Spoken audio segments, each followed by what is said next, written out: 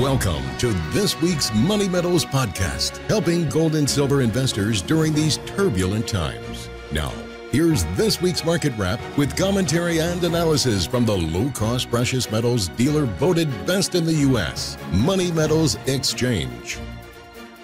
Welcome to this week's Market Wrap podcast. I'm Mike Gleason. Coming up later in today's program, we've got a fantastic interview with MoneyMetals.com columnist Guy Christopher. Guy shares some helpful tips on how to talk to your family and friends about the importance of gold and silver and offers up some of his other great insights as well. You won't want to miss my interview with Guy Christopher coming up after this week's market update. For the third week in a row, the gold market traded up near $1,300 an ounce, and for the third week in a row, sellers came in to defend that major resistance level.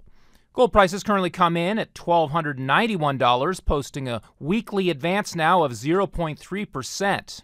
Silver also shows a small gain, up 0.5% this week to bring spot prices to $17.13 an ounce. Relatively quiet trading is taking place in both the platinum and palladium markets as well, with prices checking in at $984 and $935 an ounce, respectively. Elsewhere in the metals universe, copper is on the move. On Thursday, copper prices surged above $3 a pound to a three year high. Base metals are benefiting from recovering industrial demand out of Asia and concerns about limited global supplies. The mining industry nearly got obliterated by the bear market of 2011 to 2015. Whether it's copper, nickel, gold, or silver, Metals prices have only recently recovered enough to save more mines from closing. It will take much higher prices to actually bring new production online. Meanwhile, political uncertainty could help drive safe haven demand for precious metals and weigh on the stock market in the weeks ahead. President Donald Trump is growing frustrated with the uninspired and legislatively unproductive leadership of Senate Majority Leader Mitch McConnell. This week, Trump feuded with McConnell and other establishment Republicans. Trump told Congress that it must provide funding for a border wall in its bill to fund the government, or else risk triggering a government shutdown. Threats of government shutdowns have happened so regularly in recent years that markets might take it in stride. But the calls on the left for Trump's impeachment aren't stopping. If Trump's rocky relationship with Republican leaders in Congress worsens, that will only put his policy agenda, and possibly his presidency, into further jeopardy.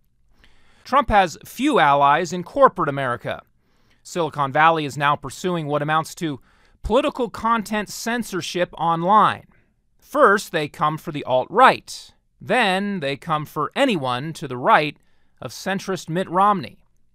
The concept of deplatforming, people who hold political views that offend social justice activists, first gained traction on college campuses. It spread to social media sites. Now, social justice warriors are going after people's finances. They're getting individuals and organizations they don't like deplatformed from the credit card processing system. This week, leading online payment processor PayPal booted several conservative groups, including Robert Spencer's Jihad Watch. Far from being an organization that promotes violent extremism, its whole purpose is to oppose it. But Jihad Watch was nevertheless financially deplatformed for promoting alleged hate speech. PayPal kicked Jihad Watch out, said it could no longer raise money through them. Why? Because leftist groups said Jihad Watch showed, quote, extreme hostility to Muslims. They equated conservative opinion with hate. The thing about it is, PayPal, just like uh, the other leftist groups that were behind this, notably the Southern Poverty Law Center, they don't allow any appeal. They don't allow you to dissent, to discuss, to debate, to explain. After much outcry from conservatives, PayPal restored the account of Jihad Watch, but many other groups remain blacklisted by PayPal and other online payment processing services based on their political views. Even the leading Bitcoin exchange, Coinbase, has succumbed to pressure to close accounts based on hate lists drawn up by leftists. Very dangerous precedents are being set that threaten financial freedom as we have known it. Just a small number of companies have the technical ability to ban anyone they want from e commerce for holding the wrong opinions. Outrage mobs are trying to retrofit the internet onto the index card of allowable opinion, as free market economist Tom Woods puts it. They probably won't succeed in doing that, but they can succeed in making it financially costly to be politically incorrect. The sudden emergence of online financial deplatforming serves as a warning against going completely cashless. Your access to the digital economy can be turned off by the corporations that control it. Even your ability to use digital cryptocurrencies could be revoked. They are harder to control than credit card systems, but a future law aimed at combating so called hate speech or terrorism or drug trafficking or something else could force cryptocurrency exchanges offline and relegate Bitcoin to the dark web. In the totally cashless society that bankers and government bureaucrats want to take us toward, people could become digitally purged from the economy. Those banned from using credit cards or smartphone apps would find themselves unable to buy anything. They'd be left to survive through begging and barter. This isn't necessarily where the war on cash and the war on politically incorrect speech will lead, it's where they could lead in a worst case scenario. Other threats, such as hacking and digital theft, make it prudent for everyone to hold a significant portion of their wealth in tangible form.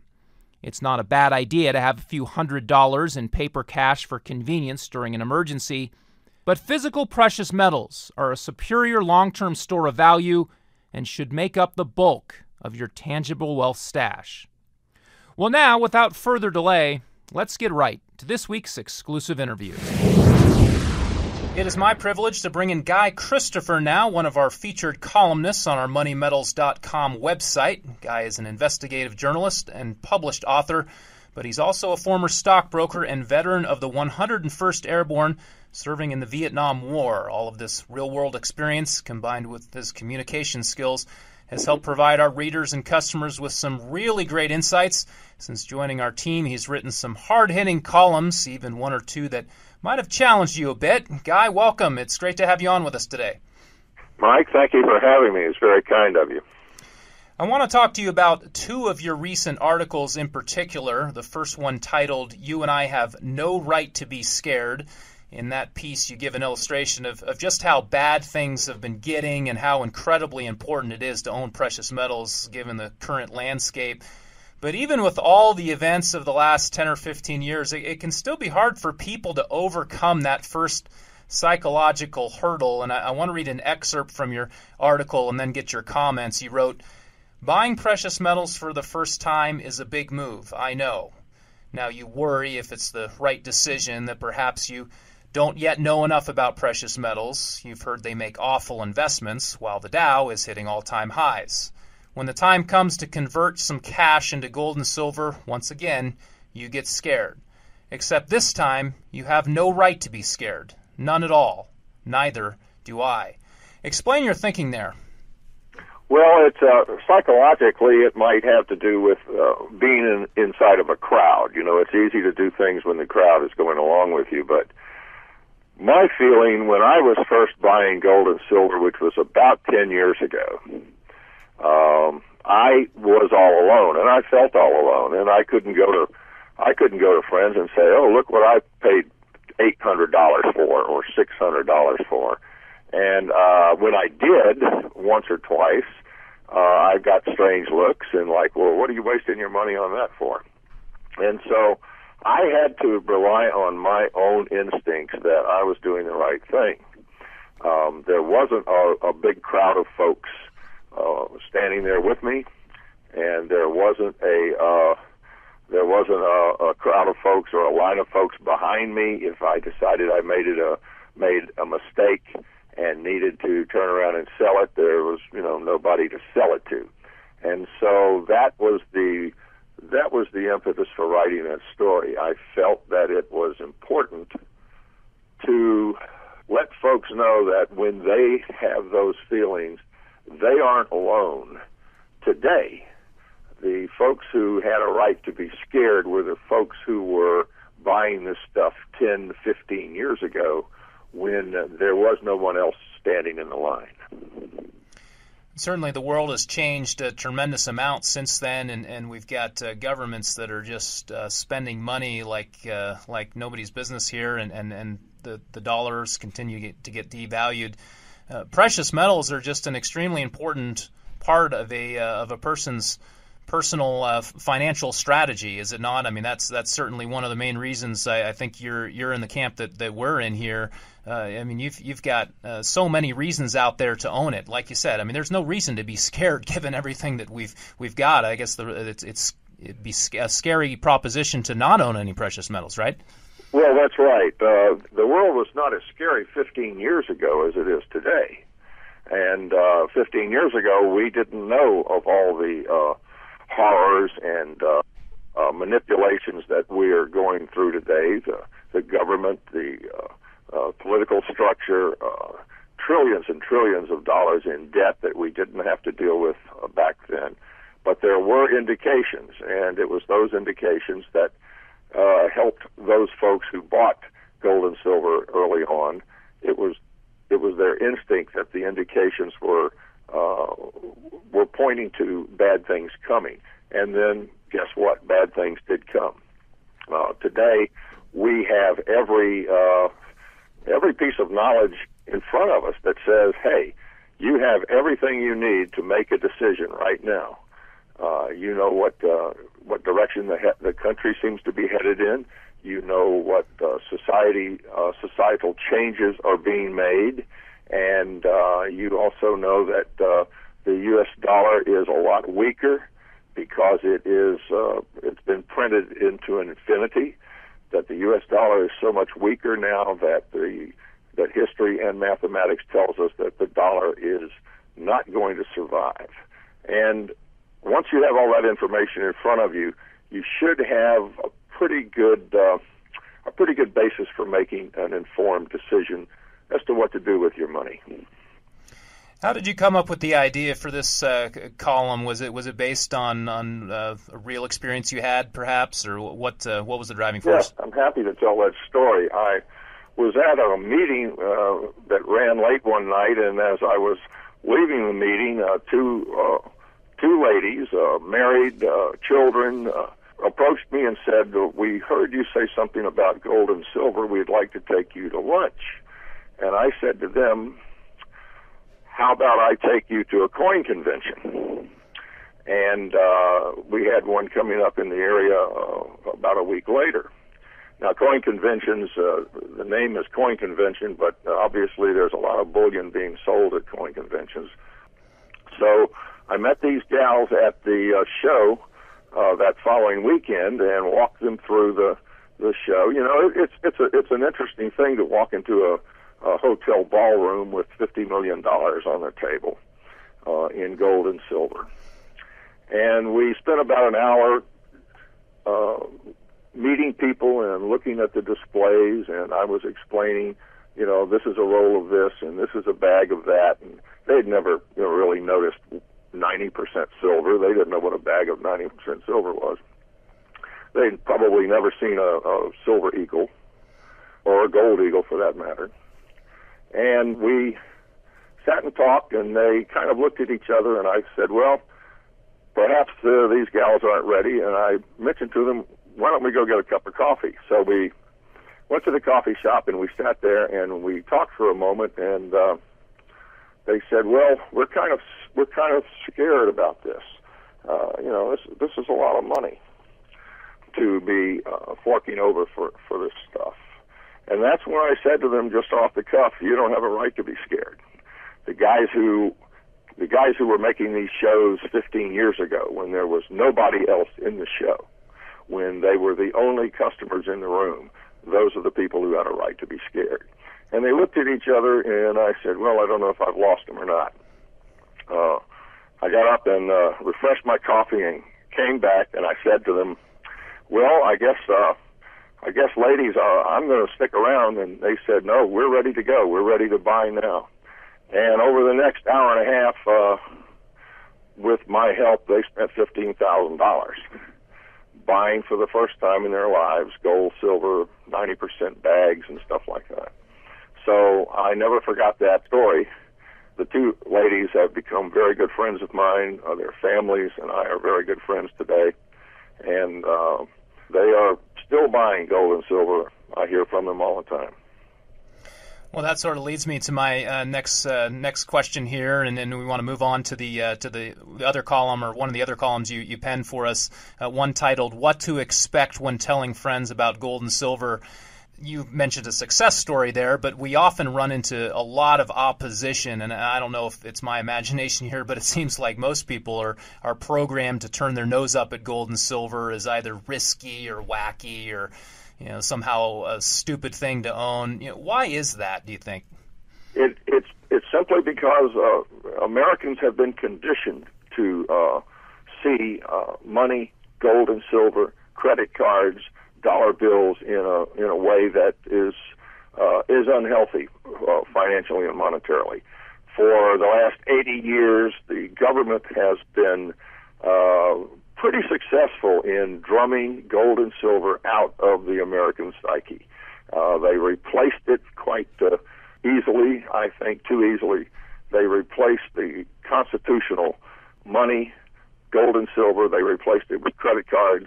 They replaced it with debt.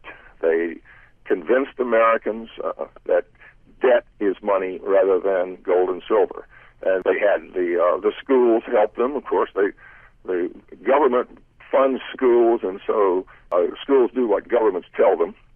They had Hollywood on their on their side, uh, and of course they had the media on their side. And so for decades, Americans have been hearing that it's good to be in debt. I mean, if you watch television, uh, uh, one of the ads I see constantly is, you know, uh, let's go get a credit check. You know, let's get a free credit check. Well, gee whiz, uh, I don't see any ads from the government saying, "Hey, you know, you should be buying gold and silver." And uh, I suppose that if uh, if it's that difficult to get folks to get interested in gold and silver, that it shouldn't be a big surprise that you can talk to hundred people and only find two or three who are actually interested. And after a while, you almost you're almost ready to give up. I found uh, a technique that I call the kitchen table seminar. I invite folks who seem to be interested to my house, or I get an invitation to their house on a Sunday afternoon, and I sit down at their kitchen table with them, and I spread out gold and silver on the kitchen table. I've found that once they get a, a silver eagle, a one ounce silver eagle in their hands, uh, they seem to have a better you know, better idea of just what it is we're talking about.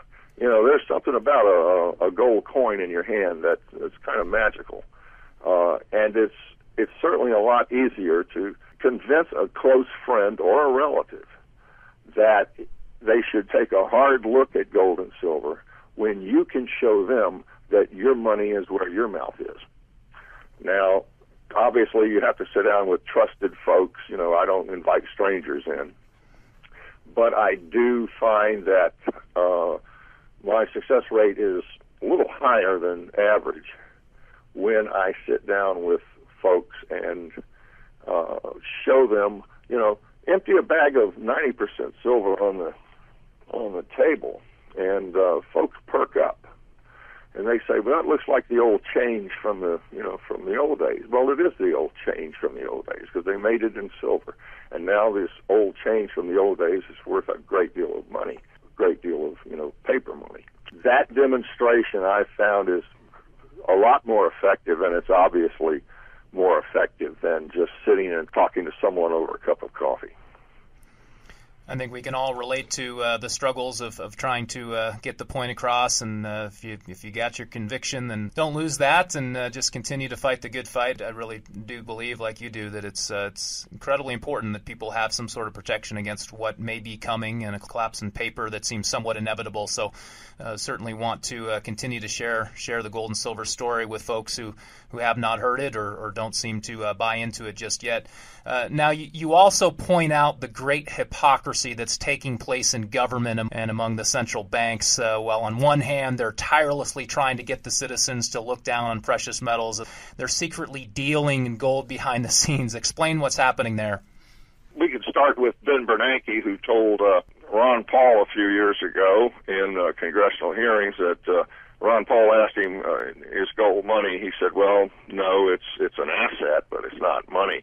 That is the official line from the government, but the truth is that uh, governments know darned well that gold is money.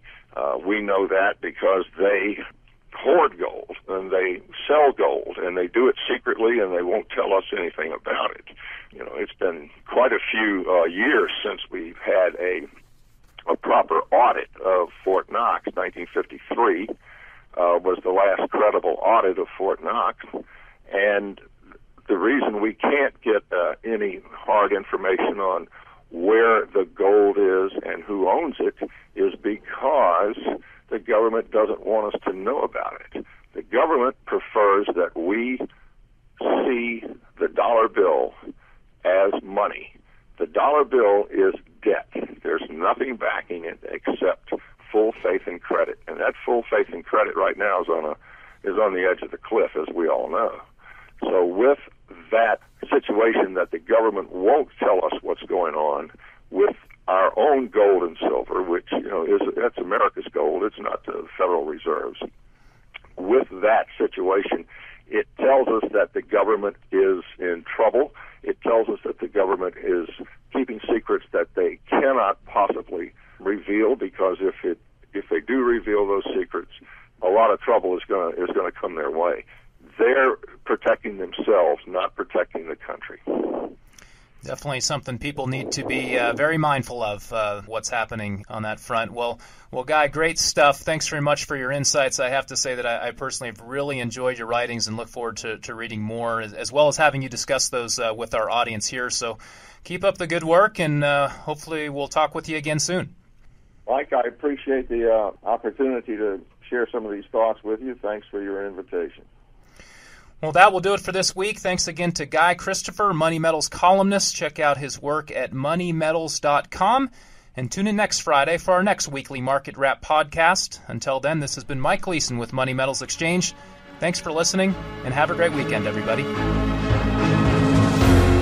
Thank you for joining us for this week's Money Metals podcast. Be sure to come back next week and don't forget to subscribe to our podcast through iTunes for answers to all of your questions or to discreetly and securely buy or sell gold or silver coins, bars, and rounds. Call 1 800 800 1865 or visit www.moneymetals.com. Our knowledgeable and no pressure specialists are standing by for your call between 7 a.m. and 5:30 p.m. Mountain Time, Monday through Friday. Again, visit us at www.moneymetals.com.